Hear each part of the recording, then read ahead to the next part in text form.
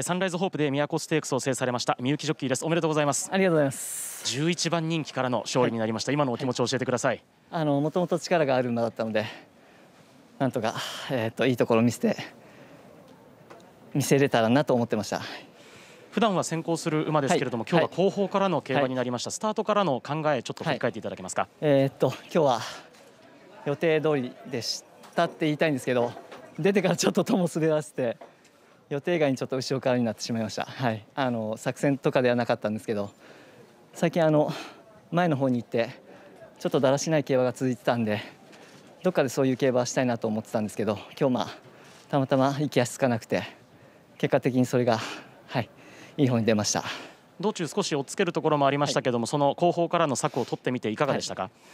あのやっぱり普段と違う競馬だったので、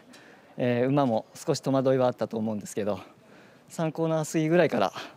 結構手応えがもう一回戻ってきてくれてその辺ではちょっといい勝負できるんじゃないかなと思ってました。